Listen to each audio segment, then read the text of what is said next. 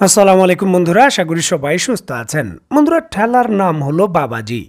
যখন আপনি কঠিন পরিস্থিতির মধ্যে পড়বেন, তখনই কিন্তু আপনি সমঝোতা করতে চাইবেন। দেখুন, ইসরায়েল গাজা উপত্যকার বর্তমান মিশনে কঠিন পরিস্থিতি মোকাবেলা করছে। তাদের সামরিক বাহিনী ভয়াবহ ক্ষতির মুখে, যার জন্য বাধ্য হয়ে ইসরায়েল হামাসের সঙ্গে সমঝোতার প্রস্তাব দিয়েছে। বর্তমানে ইসরায়েলের কারাগারে প্যালেস্টাইনের নারী শিশু সহ বিভিন্ন প্রায় আড়াই হাজার মানুষ বন্দী রয়েছেন। হামাসের সঙ্গে সমঝোতা করার জন্য ইসরায়েলের পক্ষ থেকে প্রস্তাব দেওয়া হয়েছে। যদি হামাস তাদের কাছে থাকা আড়াইশো জন ইসরায়েলি নাগরিকদের ছেড়ে দেয়, তাহলে ইসরায়েল এই আড়াই হাজার প্যালেস্তানি নাগরিকদের ছেড়ে দেবে এবং গাজা উপত্যকায় কমপক্ষে পাঁচ দিনের যুদ্ধবিরতি করবে। আন্তর্জাতিক বিশেষজ্ঞরা বলছেন যে ইসরায়েল যদি গাজা উপত্যকার মিশনে ভয়াবহ পরিস্থিতির মুখে না পড়ত, তাহলে কখনোই নিজের ইচ্ছায় নিজে থেকে হামাসের সঙ্গে এই সমঝোতার প্রস্তাব দিত না। গাজা উপত্যকায় বর্তমানে ইসরায়েলি সামরিক বাহিনীর উপর ভয়াবহ আক্রমণ করছে আল কাসেম ব্রিগেড। রিসেন্টলি হামাসের সামরিক শাখা আল কাসেম ব্রিগেড জানিয়েছে যে স্থল অভিযানের সময় গত বাহাত্তর ঘন্টায় ইসরায়েলের ষাটটি সামরিক যান ধ্বংস করা হয়েছে, যার মধ্যে চল্লিশটি হল ট্যাঙ্ক। গত সোমবার আল কাসেম ব্রিগেডের মুখপাত্র আবু উবাইদার একটি ভিডিও রেকর্ড বার্তা তুরস্কের বিখ্যাত গণমাধ্যম আনাদুলু এজেন্সি প্রকাশ করে, যে ভিডিও বার্তায় কাসেম ব্রিগেডের মুখপাত্র সচিত্রভাবে ইসরায়েলের ট্যাঙ্ক ধ্বংস করার ভিডিও প্রকাশ করে বলেন যে গত তিন দিনে প্রায় ষাটটি যুদ্ধযান ধ্বংস করা হয়েছে, যার মধ্যে অন্তত দশটি ছিল ইসরায়েলের সেনাবাহিনীর যান, যেখানে সেনাবাহিনী ভর্তি করে তারা গাজা উপত্যকায় মিশন পরিচালনা করতে আসছিল।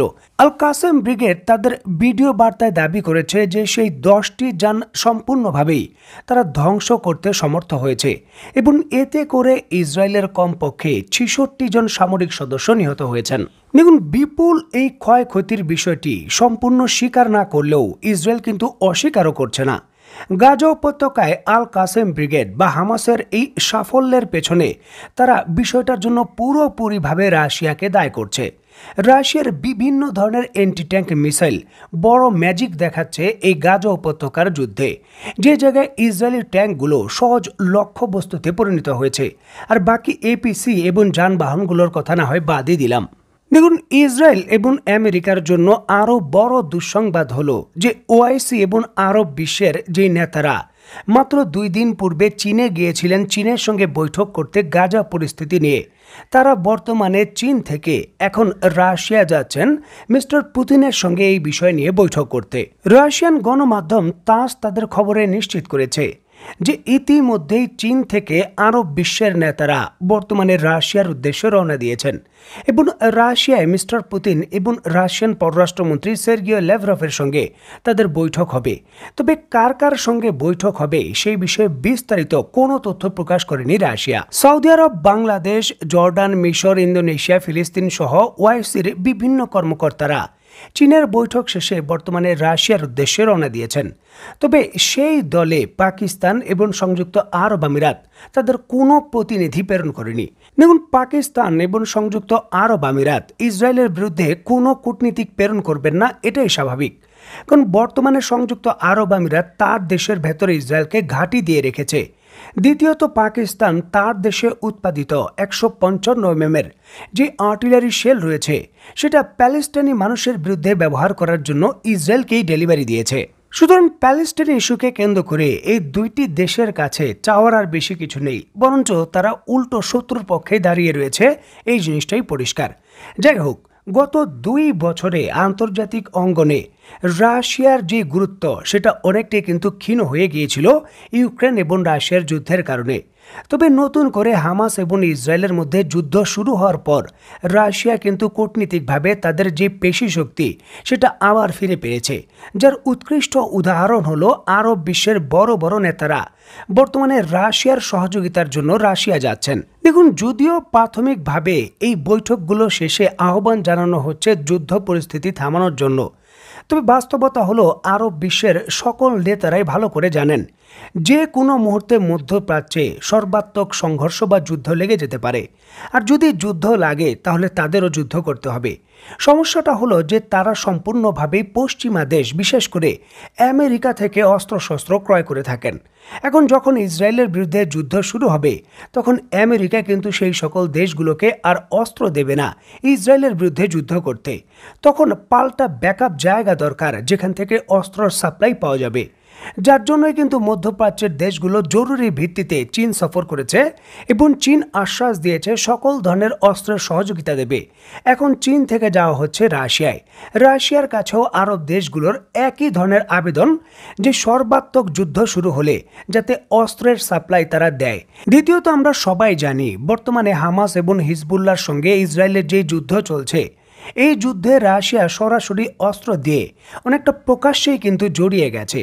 যেখানে আরব বিশ্বগুলো রাশিয়াকে আর্থিক যে অনুদান বা আর্থিক সরবরাহের বিষয়টা নিশ্চিত করে এটাই চায় যে তারা যাতে হিজবুল্লাহ এবং হামাসকে অস্ত্র সাপ্লাই দেওয়া অব্যাহত রাখে ইসরায়েলের বিরুদ্ধে। দেখুন, রাশিয়া যখন সফর করছেন আরব বিশ্বের নেতারা, তখন ইসরায়েলের উত্তর সীমান্ত উত্তপ্ত। কারণ হিজবুল্লাহ ব্যাপক ভিত্তিতে ইসরায়েলের উত্তর সীমান্তে হামলা শুরু করেছে। গত সোমবার ইরান সমর্থিত সশস্ত্র সংগঠন হিজবুল্লাহ, রকেট এবং নতুন যে বাংকার বিধ্বস্তি মিসাইল রয়েছে সেটা ব্যবহার করেছে। ইসরায়েলি গণমাধ্যম টাইমস অফ ইসরায়েলের প্রতিবেদনে এটা নিশ্চিত করা হয়েছে। ইসরায়েলি সংবাদ মাধ্যমের প্রতিবেদনে নিশ্চিত করা হয়েছে, গত সোমবার সকালে হিজবুল্লাহ ইসরায়েলের সামরিক বাহিনীর মানে আইডিএফ এর যে ঘাঁটি রয়েছে বিরান্তক সেখানে লক্ষ্য করে বাংকার বিধ্বংসী নতুন মিসাইল ফায়ার করেছে। যেই মিসাইলের আঘাতে কোনো ধরনের প্রতিক্রিয়া ছাড়াই সাথে সাথে সেই বাংকারটি বিধ্বস্ত হয়ে গেছে এবং তার ভেতরই চাপা পড়েছেন ইসরায়েলের সকল সেনাবাহিনীর সদস্য। গণমাধ্যম সূত্রে আরও নিশ্চিত হওয়া গেছে যে এই হামলার পর আরও দুইটি ঘাঁটি, আরব আল আরসেম এবং বার আমের উত্তর প্রদেশে লক্ষ্য করে এই ধরনের বাংকার বিধ্বংসী মিসাইল আবারও হামলা করে হিজবুল্লাহ। সেখানে কত ক্ষয়ক্ষতি হয়েছে সেই বিষয়ে আনুষ্ঠানিকভাবে ইসরায়েল কোনো তথ্য প্রকাশ করেনি।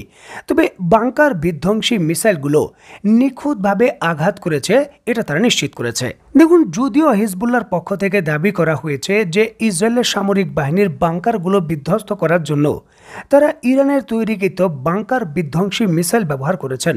তবে ইসরায়েলের নিরাপত্তা সংস্থা আইডিএফ হিজবুল্লার এই দাবি প্রত্যাখ্যান করে বলেছে যে এই মিসাইলগুলো খুবই নিখুঁত এবং এত নিখুঁত মিসাইল ইরান তৈরি করতে পারে না। মূলত রাশিয়ার যে বাংকার বিধ্বংসী মিসাইল রয়েছে, সেটা এই জায়গায় হিজবুল্লাহ ব্যবহার করেছে। এবং সরাসরি রাশিয়ার দিকে আঙুল তুলে ইসরায়েল বলেছে যে এই যুদ্ধে এখন সরাসরি রাশিয়া সম্পৃক্ত হয়ে গেছে, যে জিনিসটা আন্তর্জাতিক সম্প্রদায়ের দেখা উচিত। বিশেষ করে পশ্চিমা বিশ্বের দৃষ্টি আকর্ষণ করে এই জায়গায় ইসরায়েল সহযোগিতা চেয়েছে। এবং পশ্চিমা বিশ্বের সহযোগিতা বলতে আমেরিকা ছাড়া আর কেউই এখন সহযোগিতা করতে প্রস্তুত নয়। কারণ তারাই বর্তমানে ইউক্রেনের যুদ্ধে বড়ভাবে ফেসে গেছে এবং ইউক্রেনের যুদ্ধে রাশিয়ার অগ্রগতি এখন খুবই ভালো এবং যতটা বোঝা যাচ্ছে যে যদি এই থোক বরাদ্দ ইউক্রেনকে দীর্ঘ সময় ধরে পশ্চিমা বিশ্ব না দেয়, তাহলে ইউক্রেন মাত্র দুই সপ্তাহের মধ্যেই সেই সকল এলাকা হারাবে যেগুলো পুনরায় তারা দখলের দাবি করছে। তো বন্ধুরা, ইসরায়েল এখন কোন ঠাসা যার জন্যই আপোষ করতে চাচ্ছে এখন দেখার বিষয়ে, হামাস আপোষ করে কিনা? বন্ধুরা, ধারাবাহিকভাবে এই ঘটনাগুলো ঘটবে এবং আপনাদের আমি জানাতে চেষ্টা করব। সেই পর্যন্ত সবাই ভালো থাকবেন, সুস্থ থাকবেন এবং বাংলাদেশকে ভালোবাসবেন। আল্লাহ হাফেজ।